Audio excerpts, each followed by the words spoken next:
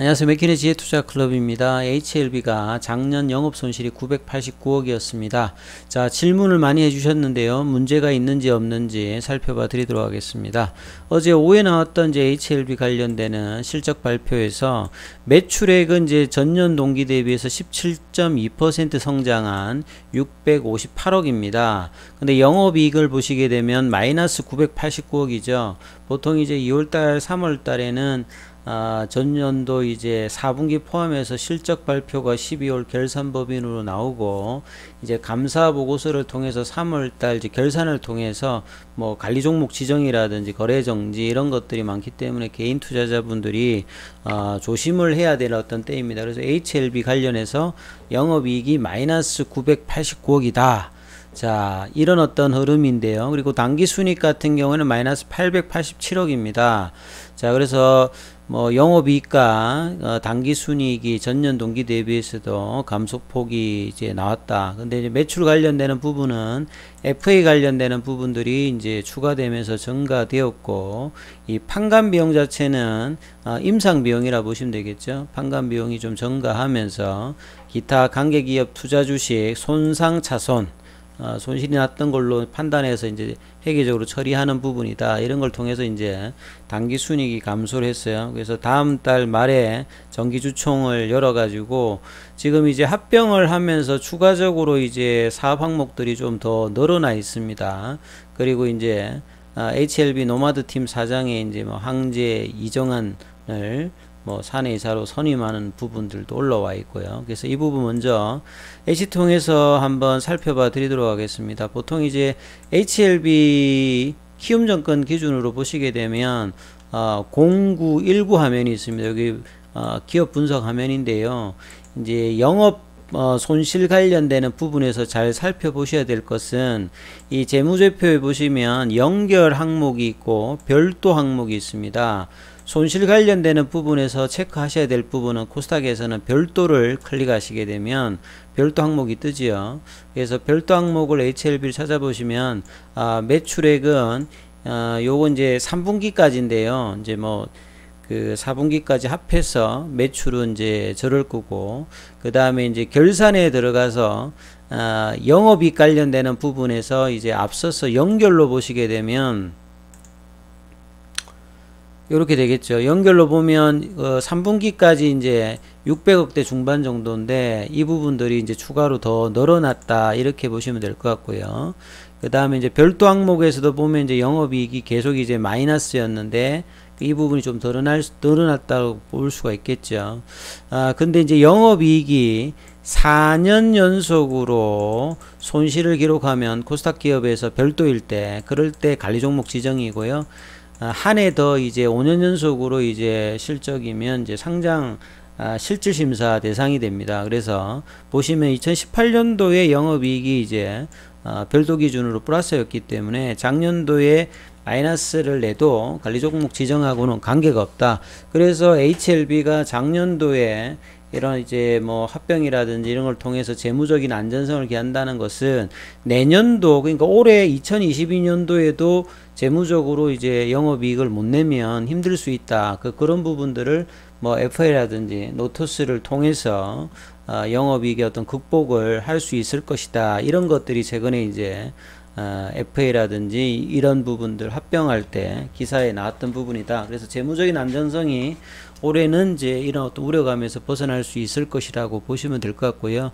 좀 더 이제 이 부분들 좀 살펴보면 HLB 같은 경우에는 이제 보시면 어, 밑단에 이제 내려가서 보시게 되면 어, 기업 개요에 들어가서 예, 밑단을 좀 살펴보시면 이렇게 이제 연결 대상의 회사들이 이제 이게 2021년도 3분기 기준이죠. 그 엘레바 테라피틱스도 있고 이뮤노믹도 있고 하진 메디칼도 있고 하진 메디스도 있고 HLB 인베스트먼트도 있겠죠. 여기에 이제 어, 강계사가 아홉 개사 이런 것들이 이제 연결로 이제 잡히는 부분이 있고요.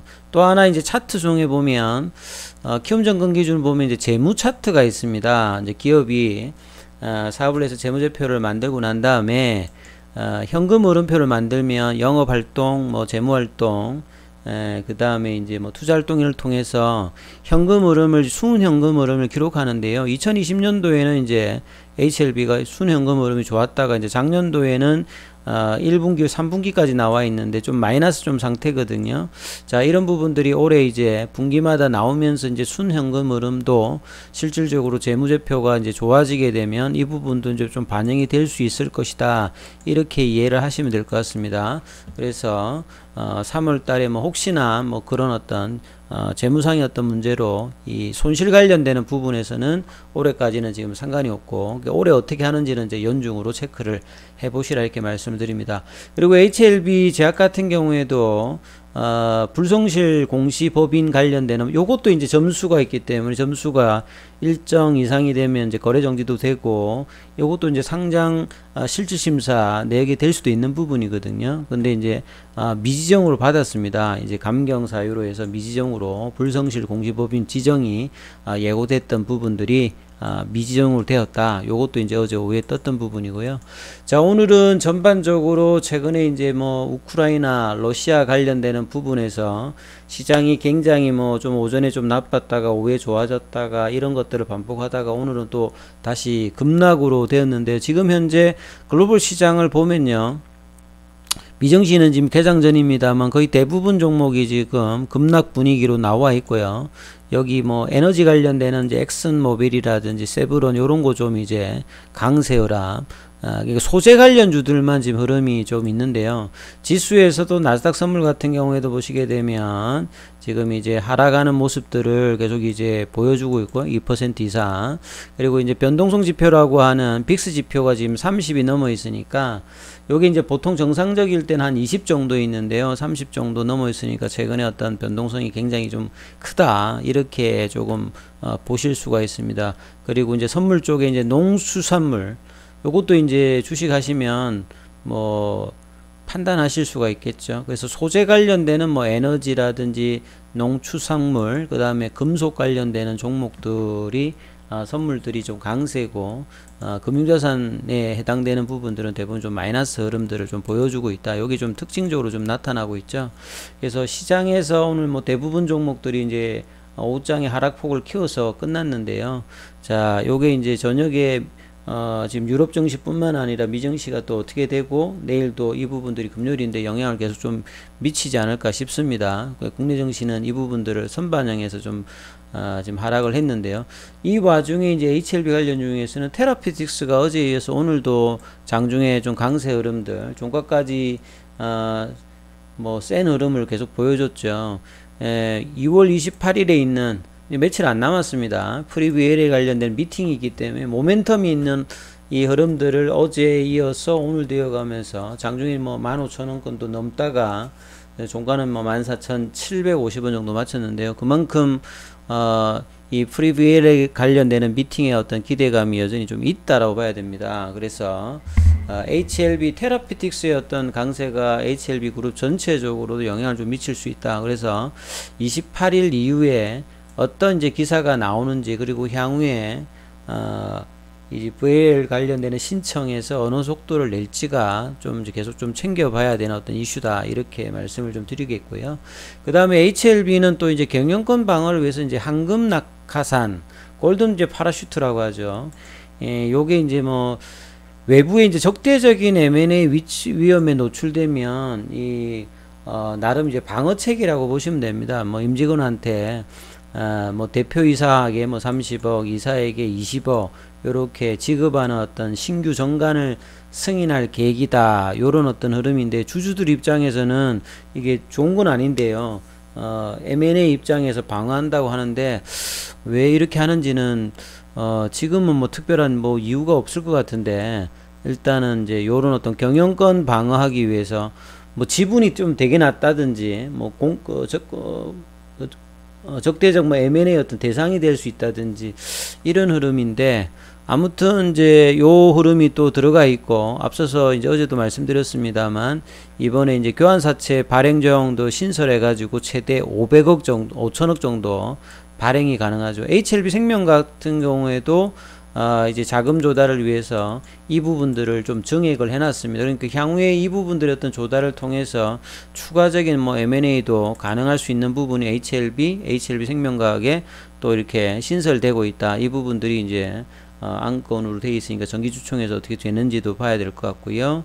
자, 차트를 통해서 한번 살펴봐 드리면 자, HLB가 이번 주 내일 뭐 하루 남았습니다만 자, 지난주에 보였던 양봉의 어떤 시가를 살짝 또 이제 내려가면서 볼린저 밴드 하단을 어, 확실하게 뭐 이탈은 안 했습니다만 그 부분이 다시 내려갔죠.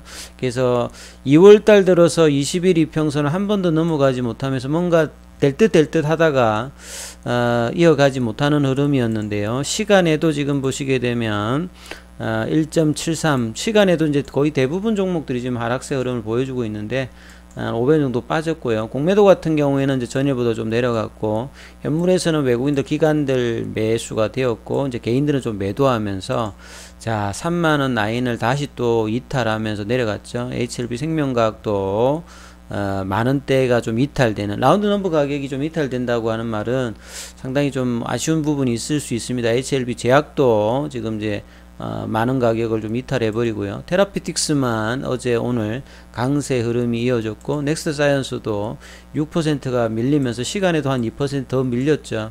그래서 양봉의 어떤 시가 내일 흐름이 또 어떻게 될지 아, 외생 변수 요런 것들을 이제 어, 체계적 리스크가 아니라 이제 비체계적인 리스크라고 하죠. 아 이제 어, 비체계적인 리스크가 아니라 이제 체계적 리스크, 시장 리스크라고 하는데 이거는 뭐 이 포트폴리오를 구성해서 벗어날 수 없는 거죠. 이게 뭐 우크라이나 사태라든지 러시아의 어떤 분쟁 관련되는 부분에서 시장 하락하는 것들은 어, 기업 내부의 어떤 흐름들은 아닌데 자 이 흐름에서 뭐 대부분 종목 빠졌기 때문에 어, 우크라이나 사태가 좀 어떻게 되는지 좀 살펴보시고 그 다음에 이제 뭐 내일 미증시에서 어떤 흐름이 나타나는지 새벽에 좀 마감되는 것들도 영향이 있을 거니까 요, 요런 것들 좀잘 살펴보시면서 어, 내일 흐름들 한번 지켜보셔야 될 것 같습니다. 여기까지 하겠습니다.